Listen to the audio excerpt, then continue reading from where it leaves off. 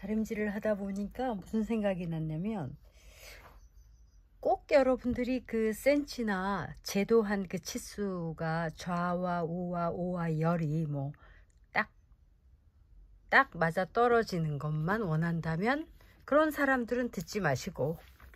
아니야 나는 르네쌤처럼 좀 랜덤으로도 하고 좀 뭐가 이쪽이 좀 길고 이쪽이 좀 짧고 뭔가 맞지 않더라도 자에 너무 의존하지 않고 그냥 해보고 싶어. 이런 사람들은 들으세요. 왜냐하면 그런 사람들한테는 어, 유용한 팁이니까. 가령 이런 경우에 나는 자를 잰 게 아니라 그냥 가지고 있는 전을 뚝뚝뚝 잘랐거든요. 그래서 여기가 식소도 없어요. 물론 뭐 사각형이라서 식소가 딱히 중요한 건 아니지만 정사각이니까. 근데 여긴 크고 여긴 좁고 좀 여러분이 눈으로 봤을 때도 그렇게 이분하지는 않는데 이제 이런 식으로 랜덤으로 하는 경우에는 주로 이제 소품 같은 거 할 때 그렇게 하거든요. 근데 내가 얘를 만들다가 보니까 얘가 좀 이렇게 휘었단 말이야 이렇게. 뭐가 이렇게 탁 떨어지지 않았어요.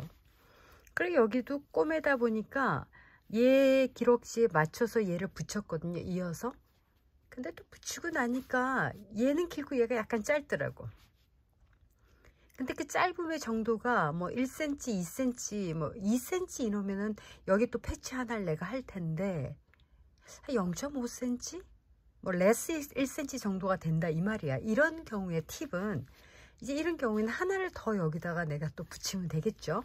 근데 그때 예를 들어서 내가 얘를 잘릴 때 일부러 의도적으로 어떻게 잘랐냐면 가령 예를 들어서 여기가 5cm다 그러면 나는 여기를 5.5로 자른 거예요 그래서 얘가 직사각형인 듯 정직각 직사각형으로 보이지만 사실은 slightly 여기 이렇게 이렇게 되지 그러니까 이 폭이 길어지고 이 폭은 짧아지지만 여기가 얘보다 짧으니까 얘를 join하면은 얘는 스퀘어가 라이 스퀘어가 나오는 거죠. 무슨 말인지 알겠죠?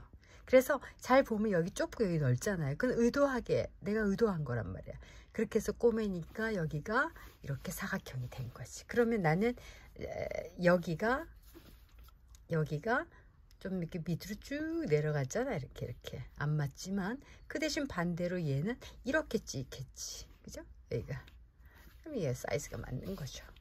그렇게 랜덤의 의미가 뭐예요? 그런 식으로 여러분이 맞춰서 하는 융통성이 필요하다 이 얘기를 하는 거고 나는 그렇게 할 이유가 없어 뭐 나는 3cm 3cm 정확하게 시접 0.7cm 잘라서 예 그건 이제 기본적으로 우리가 배웠 배웠죠. foundation skill에서 처음으로 우리가 패치워크를 배울 때 그렇게 배웠죠. 그건 누구나 할 수 있어요. 우리가 배웠으니까. 근데 이제 그 단계 이상을 했을 때 이제 랜덤으로 하는 걸 말을 하는 거지.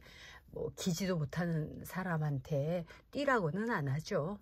그러니까 이미 뛰고 있는 사람에게 이제 날기 위해서 팁을 알려준다 이렇게 생각하면 되겠죠. 그러면 이제 그런 데서 랜덤이 출발하는 거라 생각합니다.